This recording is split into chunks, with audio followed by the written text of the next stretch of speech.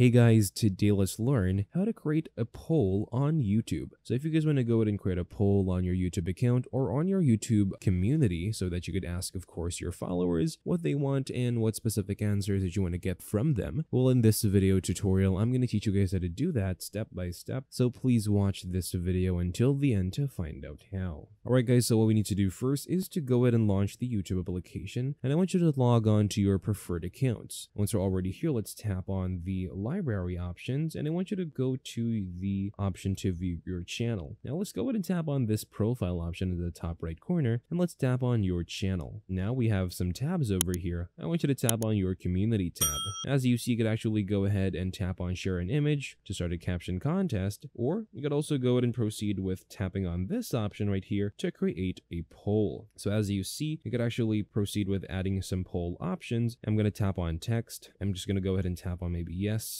and no and ask a random question to your community or whatever one that you'd like to get answers about. Now go ahead and just tap on post once you're done and that's how you guys could easily create a poll for your YouTube community on YouTube. Thank you guys for watching this video. Please like this video and subscribe as well if you guys learned something and I'll see you guys on the next video.